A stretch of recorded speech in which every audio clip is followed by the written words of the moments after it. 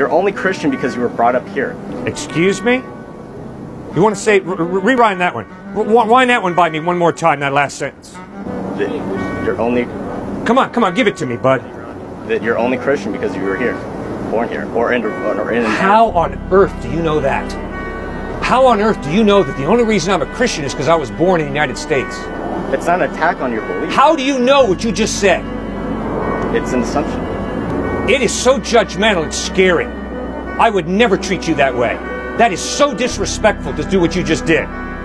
You don't have the faintest idea why I'm a follower But, of Christ. but isn't it a statistical problem? I mean, I, I, forgive me if that's not true. I apologize. You better apologize.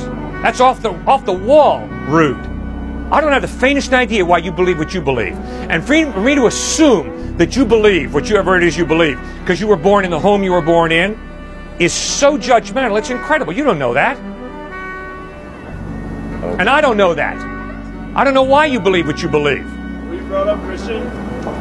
Was I brought up Christian? That is pretty pertinent to your belief. The environment I grew up in was Fairfield County, Connecticut. Go check out the environment.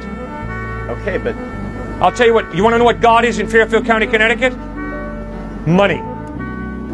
My buddies go to Wall Street, okay? I can promise you, Jesus is not Lord in Fairfield County. The American dollar is.